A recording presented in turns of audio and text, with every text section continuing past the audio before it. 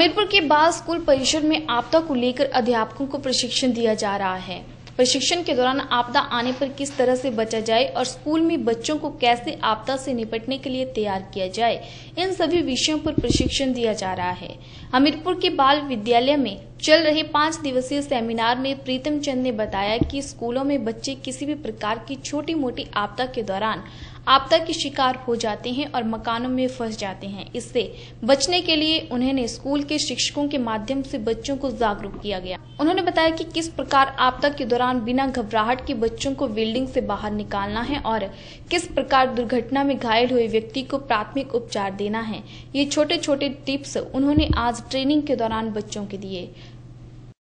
स्कूलों में बड़े सारे बच्चे होते हैं, जैसे तो छोटे मोटे कोई भी आपदा आ जाती है तो सबसे पहले सबसे ज़्यादा प्रॉब्लम होती है स्कूलों के अंदर होते हैं, क्योंकि वहाँ मैक्सिमम बच्चे कैप्चर हो जाते हैं। कोई भूकंप आ जाए, कोई आपदा और आ जाए तो सारे बच्चे बिल्डिंगों के बीच में फंस जाते हैं। तो हम छोटे छोटे तरीके से छोटे छोटे टेक्निक से अध्यापकों के ज़रिए हम अध्यापकों को बता रहे हैं कि कैसे बच्चों को बाहर निकालना है सेफ्टी विन आपको में सेंसिटाइज करके ज़्यादा पैनिक नहीं लेनी है। ज़्यादा उसमें घबराहट नहीं शो करनी है। अगर आपको रोड में कोई आदमी कैजुअलिटी मिल जाता है एक्सीडेंट में तो आपने क्या करना उसको इमीडिएट हेल्प करनी है। और कैसे हेल्प करनी है? फ़र्स्ट एड कैसे देनी है? ये छोटी छोटी टेक्निक्स हम यहाँ बता रहे हैं डिफरेंट आरपीस के माध्यम से। और साथ में हम ये है कि कम्युनिटी को भी अवेयर करें, अपने बच्चों की ज़िंदगी भी बचा सकें हम, ताकि हमारे स्कूल जो है, सुरक्षित रह सके। हमारे जो भविष्य है स्कूल में जो भविष्य बच्चे हैं, वो सुरक्षित रह सकें। जयपुर और ब्लॉक सुजानपुर के लगभग 30 टीचरों को ट्रेनिंग दी जा रही है। इससे पहले हमने लगभग दो सौ अट्ठाईस टीचर ट्रेंड किए हैं। ये लास्ट फ़ेज़ हमारी ट्रेनिंग का है। हमीरपुर और सुजानपुर ब्लॉक के हाई स्कूल्स के और मिडिल स्कूलों के।